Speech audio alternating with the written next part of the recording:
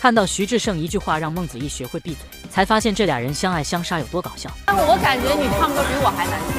但你说话比我难听。徐志胜除了显示屏，其他都是高配吧？这反应速度，我真只能说是天赋。难怪都说只有徐志胜才能接住孟子义的话，因为面对孟姐的奇葩提问，他总能见招拆招。接下来这五天向南而行，大妈说啥不会有一句反话词。啊，你这五天才开始向南而行啊？我们刚录就开始向南而行了。因为年轻人总要走一些弯路，才能到达彼岸。这情商和临场应变能力也太夸张了。果然，智胜勇闯娱乐圈靠的不是颜值。节目上，徐志胜回忆自己童年生活，结果意外暴露孟子义智商。我其实想回到我小时候住的那种房，砖地还是土地？土地，那个院子全是土的，就没有铺砖的。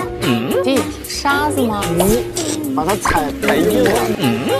土是什么东西啊？孟姐真就越努力越心酸，看得出来他是很想了解，但奈何八百个心眼子全部都是空心的。而徐志胜面对笨蛋美女孟子义，总能轻松应对，给嘉宾一点大震撼。您再重复一下您这个问题。不是我，我我就是我穿的这个衣服。本以为是孟子义脑子短路了，偶尔这样，但没想到他总是语出惊人，给志胜带来精神暴击。节目上几人正常社交，结果孟子义像是触发任务的人工智能。你们之间互相认识吗？哎呀妈，哎呀妈，跟孟姐是第一次见。啊，对的，你好，你好。太妙了，太妙。孟子义是给自己设置自动回复了吧？这样条件反射式的对话，就连智胜都叹为观止。带的是什么桌游呢？谁是我的？哦，好玩好玩。孟姐，我给你跪下了。这个夸奖属实，被孟子义拿捏的死死的。孟子义根本没在搞笑，才是真的搞笑。本以为这就是徐志胜的综艺滑铁卢了，但想不到孟子义的迷惑行为永远超出他的认知。节目上，孟子义为了赚桃花币给志胜卸妆，结果就是徐志胜受难记。哎呀妈呀，我挺多。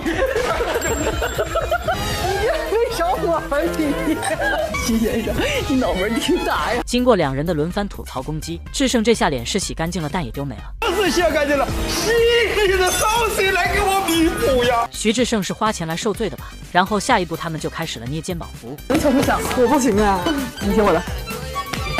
是你这也太专业了。咋了？这我都炫技了。徐志胜挺难杀的呀，被两人逮住一顿折磨。但这都不算什么，最扎心的还是梦姐走心评价。哎，你说志胜，你的化妆师给你化妆应该很容易吧？为啥呀？因为。其实画什么都很难改变你原生五官，听起来像是一句夸赞，但为什么从孟子义嘴里说出来，对智胜是一种心理暴击？孟子义一开口就狂戳智胜肺管子，两人的相爱相杀简直提供了整期笑点。